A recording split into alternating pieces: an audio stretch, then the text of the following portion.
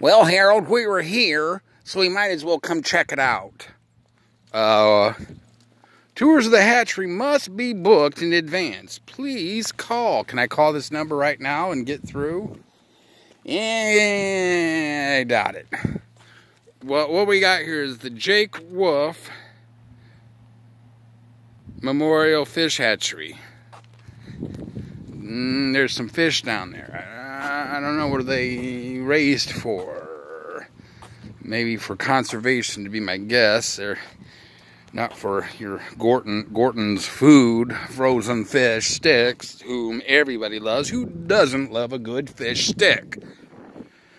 Beautiful, beautiful. Oh my goodness, it's closed. Anyway. So, but you know, that's that.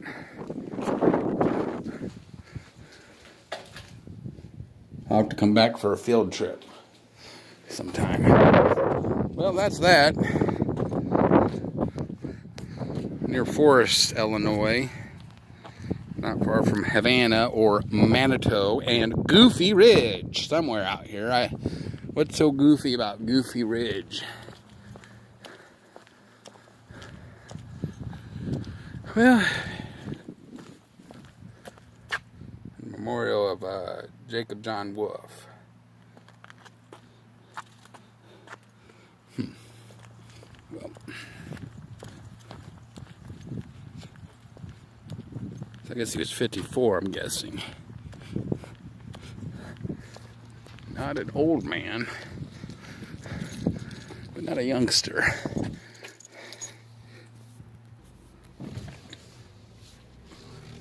There's a little trail, very short trail, between parking lots.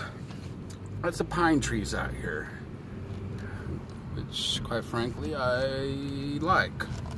I enjoy a good pine tree. Uh, oh my goodness, Harold, which way do we go? springtime. Grass is green.